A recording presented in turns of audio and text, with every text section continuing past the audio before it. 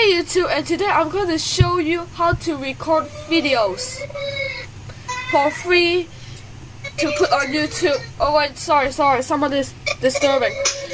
Uh, I'm going to show you how to record your screen and gameplay 2016. Okay, first you go and go to your web browser and type Bandicam, B A N D I C A M, and then enter press the first link. Then you can press free download. After you download it, you open it and then you can see something like this. And then you, you can select game recording mode and screen recording mode. I'm currently using I'm currently using screen recording mode. So you can record games with it. You can record your webcam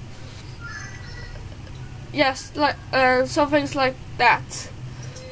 Okay, so if you like this video, please subscribe, and I'll see you in the next video. Goodbye.